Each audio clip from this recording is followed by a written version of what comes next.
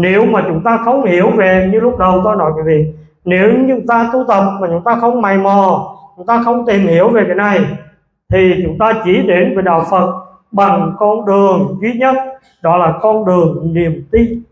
Và con đường niềm tin thì nó dễ lung lay. Con đường niềm tin thì nó dễ lung lay. Và con đường niềm tin nó có một nguy hại như thế này, là chúng ta không hiểu, thì chúng ta thấy đạo nào như đạo nào? Và nhiều người cứ nói là đào nào cũng tốt, đúng không?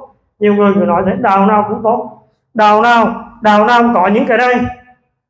Không? Nếu chúng ta không học, dĩ nhiên mình không kỳ thị, mình không có cái tâm phân biệt, mình không đổ kỳ mình nói những tôn giáo khác là xấu, mình có cái tâm đó.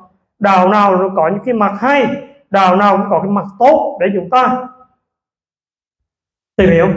Nhưng mà một người phật tử nếu mà chúng ta nắm được giáo lý, tự niệm xứ, tự chánh cần tự như túc, ngũ căn, ngũ lực, thất bồ đề phần, bát chánh đạo, thì chúng ta mới thấy được trong giá tài của đức phật để lại, có những cái, có những điều, đó là những viên kim cương không? Đó là những viên kim cương. Và vì sao tam bảo, phật bảo, pháp bảo, tăng bảo, vì sao pháp mới gọi là quý, mới gọi là cao quý?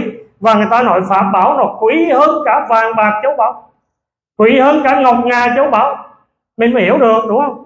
Chứ còn không, nếu mà chúng ta không học giáo lý, thì chúng ta nghe thầy nói tam bảo là quý. Mình cũng nghe là quý, nhưng mà thật ra mình chả tin. Mình cũng tin phần nào thôi. Vàng là quý, chứ làm sao tam bảo một quý được thầy? Kim cương mà là quý, chứ sao tam bảo quý được thầy?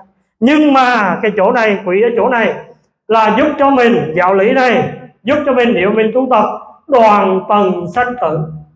Cái đó với đạo phật thì đó là cái quý nhất chấm dứt sanh tử khổ đau. Không? Chấm dứt sanh tử khổ đau. Cho nên cái đó tam bảo mới gọi là quý. Còn nếu vàng bạc châu bảo chỉ nuôi được cái thân người này trong kiếp này và nhiều khi để lại cho con thì nó chạm, thì nó đâm chạm nhau để chia đất. Tôi nói để tôi nói lượt qua xíu. Để phật tử chúng ta mình phải không?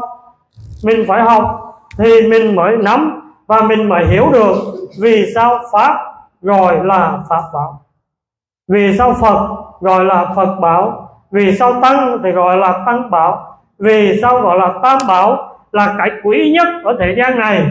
Trên cả vàng bạc châu bảo vì hiểu không ạ? à?